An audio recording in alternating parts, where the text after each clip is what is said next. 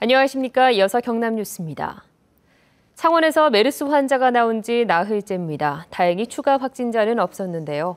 하지만 첫 번째 휴일인 오늘 평소 북적이던 곳들이 한산한 모습이었습니다. 보도에 손은혁 기자입니다. 창원에서 열린 한 5일장. 휴일과 겹치는 장날 기대됐던 북적임은 없었습니다. 손님이 절반 정도 줄어들었다며 상인들은 울상입니다. 뻥튀기가 밀려야 되는데 보시다시피 손님 없거든요. 일치 없어요. 메르스 여파로 장터연 무료 급식소도 텅 비었습니다. 재래시장을 방문하는 노인들을 위해 마련된 이 무료 급식소도 이번 장부터 당분간 운영을 하지 않기로 했습니다. 휴일이면 혼잡하던 백화점 주변 도로도 한산합니다. 창원에서 메르스 환자가 나온 뒤 어제까지 사흘 동안 손님이 30% 정도 준 것으로 백화점 측은 보고 있습니다. 나들이도 자제하는 분위기입니다. 연인, 가족이 많이 찾는 도심 공원도 썰렁합니다. 그 연인도 많이 오고 사람도 많고 해서 많다고 해서 놀다 가려고 하는데 뭐 생각보다 사람이 많이 없는 것 같습니다. 메르스 때문에. 오후 들어 기침과 미열, 두통 증세가 있는 메르스 의심자 6명이 추가됐습니다. 이 가운데 3명은 115번 환자와 직간접 접촉해 자가 격리 중인 사람이라고 경상남도 메르스 대책본부는 밝혔습니다. 현재 경남에는 380명이 자가 또는 병원에 격리돼 있고 134명은 보건당국의 모니터링을 받고 있습니다. 한편 내일 휴업하는 학교는 창원 지역의 유치원 4곳과 초등학교 4곳, 중학교 세 곳입니다. KBS 뉴스 손원혁입니다. 경남에서도 메르스 확진 환자가 나오면서 불안감이 커지고 있습니다. 이 메르스 감염을 막기 위해 반드시 알아야 할 수칙들을 김소영 기자가 정리했습니다. 메르스는 대부분 기침을 할 때 나오는 분비물을 통해 전파됩니다. 기침을 하면서 열이 나는 사람과는 대면하지 말고 피해야 합니다. 예방을 위해 자주 손을 씻고 씻지 않은 손으로는 눈, 코, 입을 만져서는 안 됩니다. 기침을 할 때 마스크를 사용하면 분비물이 튀는 걸 막을 수 있습니다. 사용 뒤 마스크가 침이나 콧물로 젖으면 즉시 버리고 새 마스크를 이용해야 합니다. 마스크를 착용 후에 버리실 때는 마스크의 바깥쪽 면과 안쪽 면에 손이 닿지 않게 조심하시면서 양쪽 끈을 잡고서 비닐봉지에 넣어서 버려주시면 됩니다. 메르스로 의심될 경우는 14일 동안 스스로 엄격하게 격리해 생활해야 합니다. 메르스를 의심해 볼 수 있는 가장 대표적인 증상은 발열로 국내 환자 90%가 발열 증상이 있었습니다.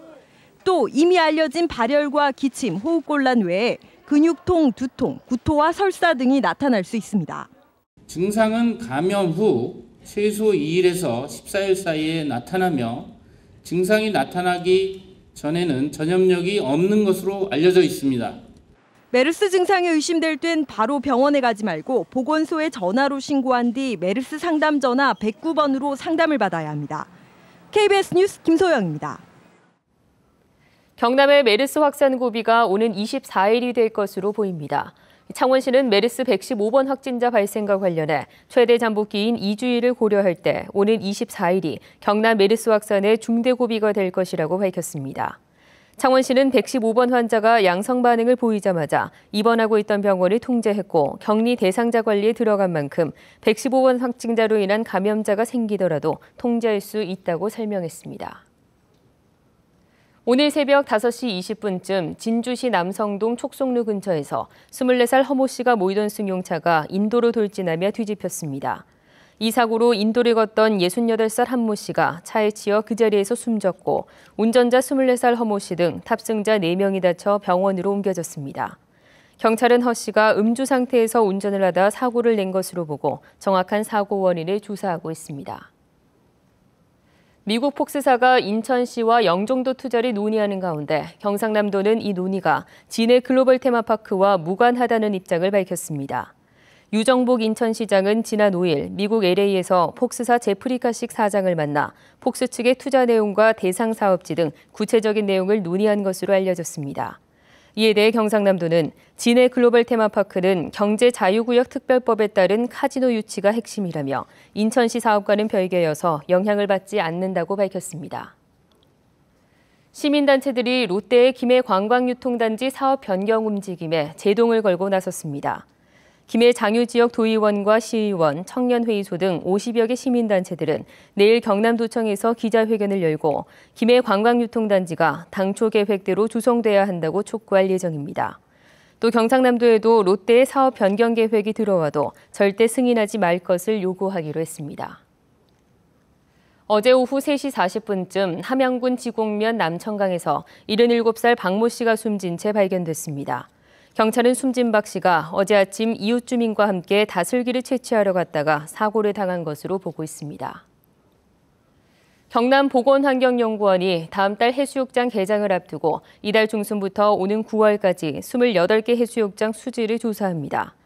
해수욕장 안전관리 차원에 이뤄지는 이번 수질 조사는 개장 이전과 개장 도중 그리고 폐장 뒤 이렇게 세 차례에 걸쳐 측정할 예정입니다.